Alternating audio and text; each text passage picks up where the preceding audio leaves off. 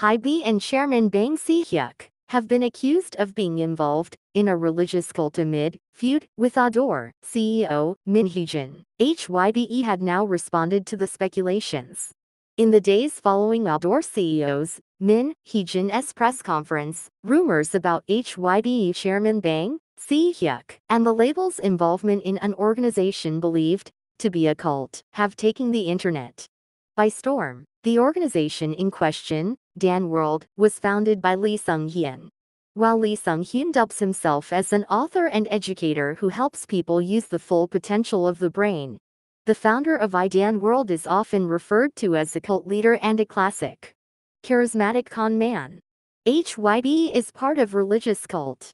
So, how is HYBE related to Lee Sung-hyun? Well, Lee Sung-hyun is the founder and president of Global Cyber University, the same university six BTS members attended and promoted in the past.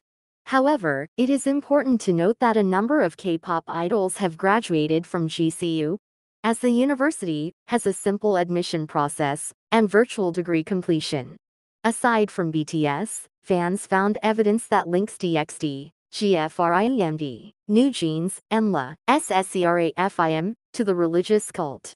As per reports, Dahn World promotes the idea that man and God are one, and followers worship Mago, the goddess of the universe. Mago was the final title track of HYBE's, now disbanded, girl group, GFRIEND, which was released under a modern witch concept.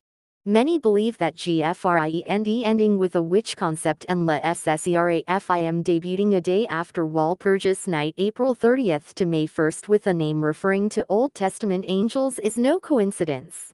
LE SSERAFIM's concept content has also come under question.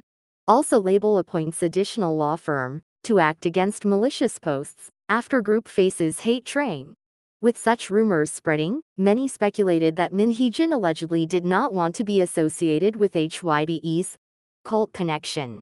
Netizens pointed out that the ADOR CEO had created a separate communications app, phoning instead of Weverse, for New Jeans as Weverse shares a name with Weaver's Mind, an education company believed to have Dahn World connections. However, these are simply just rumors and speculation.